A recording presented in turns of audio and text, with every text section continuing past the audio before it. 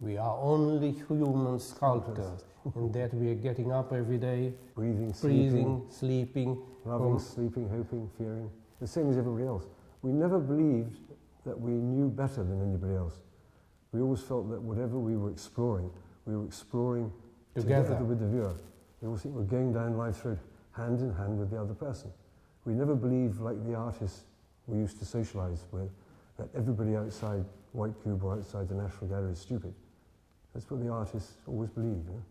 And It's not true. Everyone is a fantastic person. Everyone is an amazing individual. are walking hand in hand through the jungle. We, we believe it's very simple, because collecting the 3,712 posters made us realize they exist on many levels. But the first two levels is, number one, they exist in order to sell newspapers.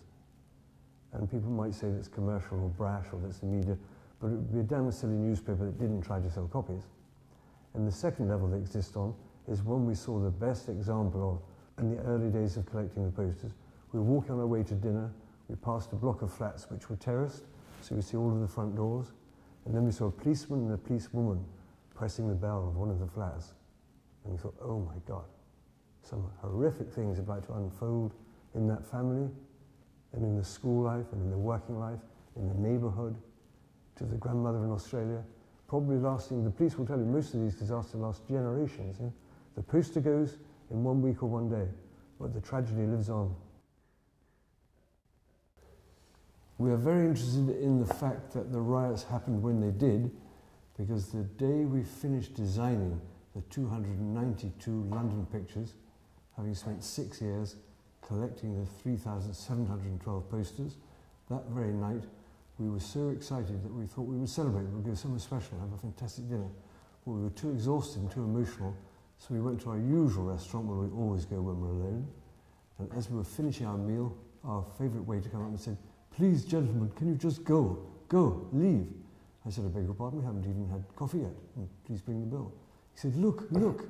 And we looked out of the window, and there were 500 young people running in the middle of the street with a police van behind them. And then suddenly there was a bus on fire around the corner in Shacklewell Lane. That was the night of the riots.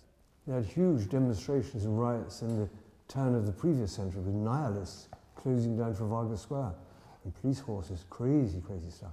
Quite extraordinary. But we do believe that we're dealing with the eternal human dilemma, which is always circling around death, Hope, life, fear, sex, money, race, religion. And those are the things that lie inside everyone, wherever they live on this planet, and whatever their social background or educational background. It's always there.